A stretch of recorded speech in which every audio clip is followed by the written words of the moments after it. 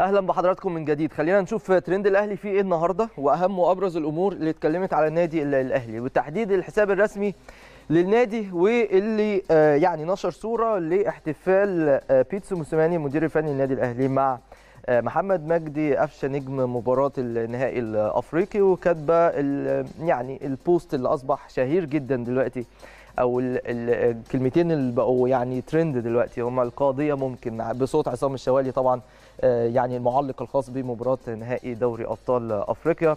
ويعني بقى أمر آه، منتشر جدا أو كلمة بقت منتشرة جدا القاضية آه، ممكن.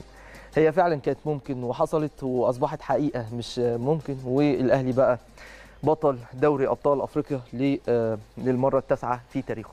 طيب حساب جول بالعربي وبرده نفس الكلمتين القاضيه ممكن.